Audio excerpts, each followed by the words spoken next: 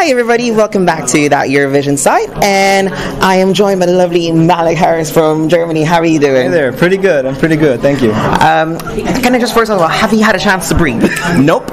Not at all. But I love it. so, because obviously, like, it's been, it should, has it been non stop then, I'm presuming? Yeah, definitely. I mean, uh, the pre selection was on Friday, and since then, every single day was just packed, pretty full with interviews and everything, but I love it. I love and it. And then now you're here in Stockholm. Yes. Crazy, right? so, how does it feel to be selected as a Eurovision representative now? Officially, you were voted for it. Yes, it's it's hard to describe, especially since I was voted. That's what makes me so proud. You know, there were people out there who saw me, who saw, listened to my song, who saw my performance, and they were like, "That guy, we want that guy to represent us," and that's just a huge honor for me.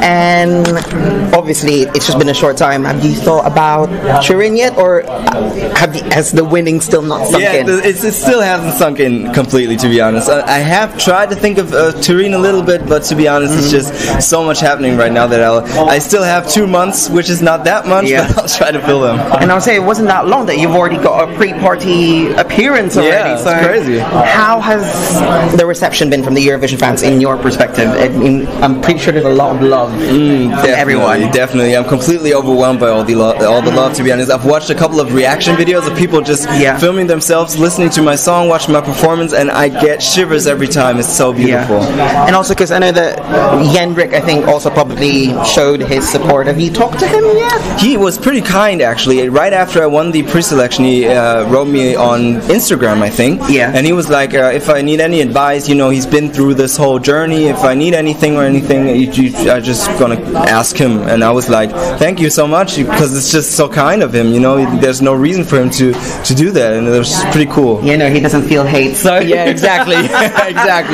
All right, then. So I know that this circus is like it's just the beginning for you, yeah. and I'm gonna say be prepared for a lot of this circus, but yeah. you will have fun. Definitely. But um, I'm saying, what's the one thing that you've learned so far? I know it's just been very, very short mm. that you'll take with you going forward because obviously it's a once in a lifetime opportunity to get to represent your country. Oh, definitely. Oh, it's it's hard to say. Uh, one thing that I really learned is to, you know, uh, try to uh, take it all in, especially when people, you know, people listen to the song. I, I can reach a lot more people in these couple of last couple of days, and um, yeah, just you know, feeling that love from everybody is something that I will never forget for the rest of my life, for sure. All right, then, and when you're performing in the grand final, so yes. no pre- less pressure for you there. Uh, what would you want the audience? What would you what, what would your performance say to the into the 200 million viewers who oh, will be watching crap. for you? That number is surreal, man.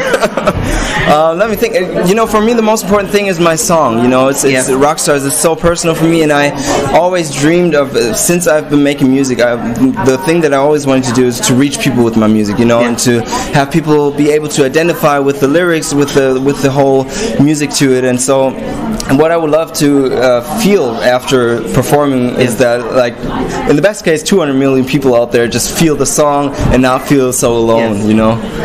All right, then. Well, thank you very much. Uh, but cool. finally, is there anything you want to say to the international viewers who are watching us about that Eurovision site?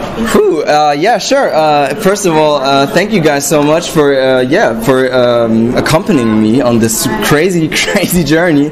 And uh, yeah, I can't wait to perform in Turin. I'm so much looking forward, and I really hope you're going to enjoy my performance of Rockstars. All right. Thank you very Cool. much, Malik, and good Thank luck. you. Thank you so much, man.